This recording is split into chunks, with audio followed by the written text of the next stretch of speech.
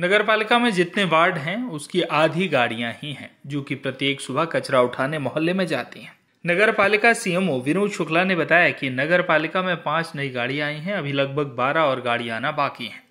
सात रास्ते पर विधायक डॉक्टर सीता शरण शर्मा नपा अध्यक्ष नीतू महेंद्र यादव ने गाड़ियों को हरी झंडी दिखाकर रवाना किया इस अवसर पर। उपाध्यक्ष अभय वर्मा, नपा सीएमओ विनोद शुक्ला नगर पालिका के अन्य अधिकारी और कर्मचारी मौजूद रहे।